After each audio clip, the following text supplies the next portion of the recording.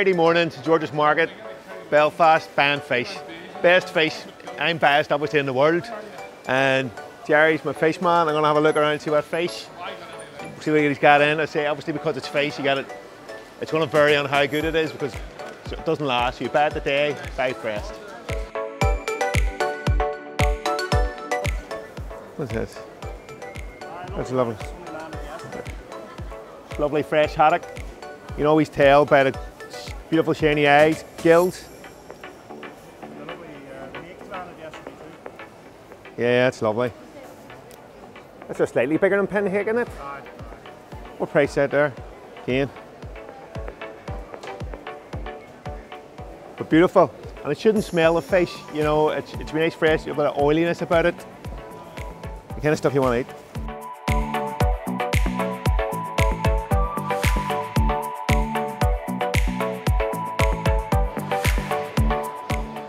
They're beautiful. They're kind of like they're local, a small season, and uh, called locally in Ardglass. They're kind of like um, we are covering the sardines, really good. Get some M on as well. Lovely and fresh.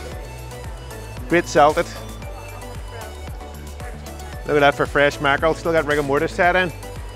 You know, it's another good sign how fresh it is.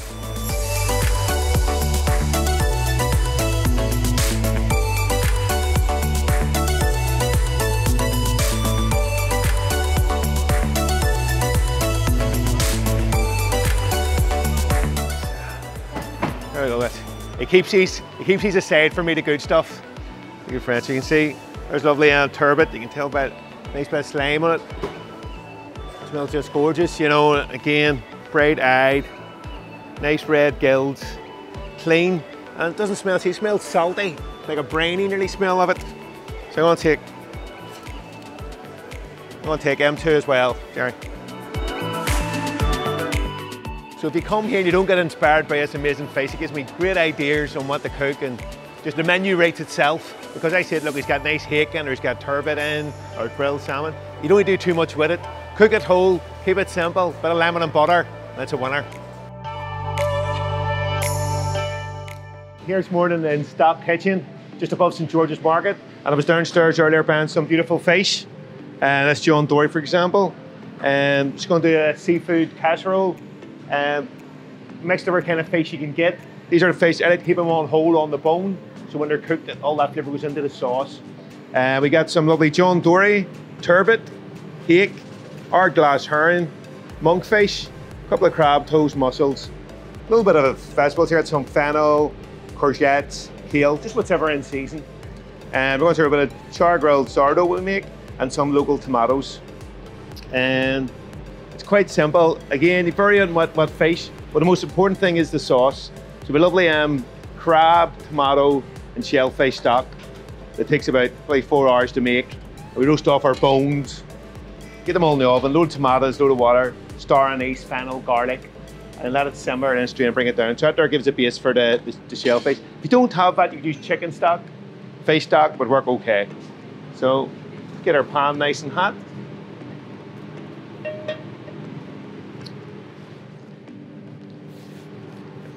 This is a lovely, um, quite easy dish. I like. It's it's nowhere to hide. It's just simple ingredients, cooked with a bit of love, a bit of care, a bit of salt, a little bit of oil. And say if you're a bit squeamish, you can take the head off, but I ain't got so great bit, lovely meat in the cheeks and around the gills and all. And you should be shouldn't be too shy. These are some lovely flavours around there and around here, around the collar as well. And if you're keen, you have the eggs as well. So, but this is the biggest bit, so always work largest way down. So oil in our pan.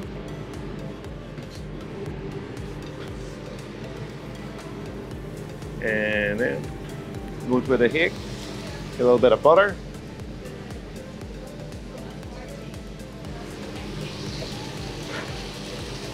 Two things go great together. Seafood, butter, works every time.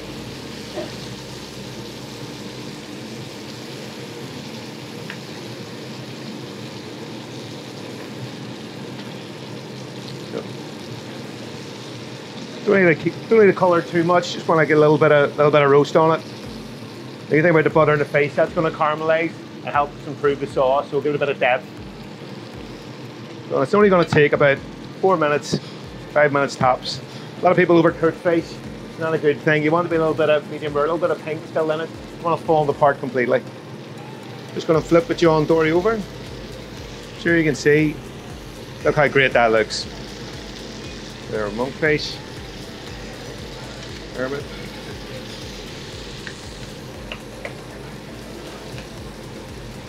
And lastly, a bit of space for our. So we're going to pop our Ardglass herring in. Slips in there. And as well, I'm just to pop our some crab claws. These have been blanched already. Pop all right. And again, that's just going to add more flavour to the sauce when they open start roasting a bit.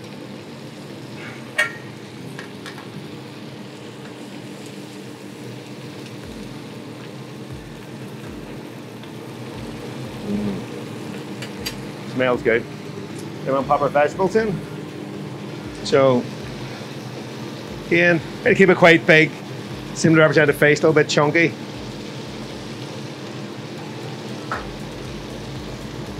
So, lovely courgettes. Don't need all this. A bit of kale. There we go. Need some great these tomatoes in season. They'll go in. And at this stage, want a bit, got our face nice, bit of colour and a bit of lemon juice.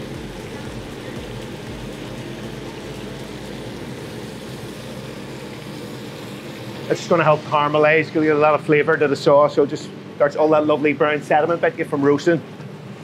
And then we go in with our stock. A couple of ladle fills.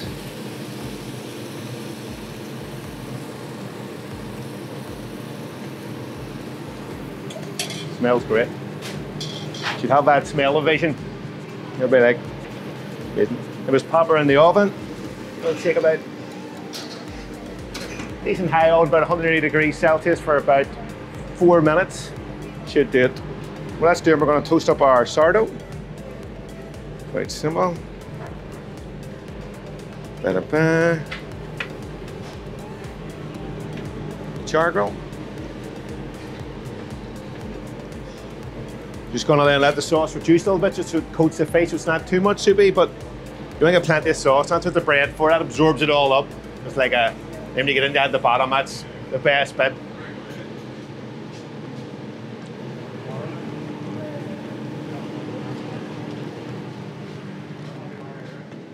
Just gonna plate her up. So, make it go this way. A little easier. Just plate straight up.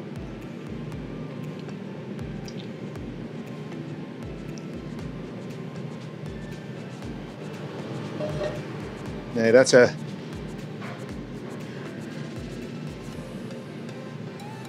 there we have it. Market seafood casserole, easy as, and top end. Now that's a generous one. Could do two for lunch, but that's that would do me.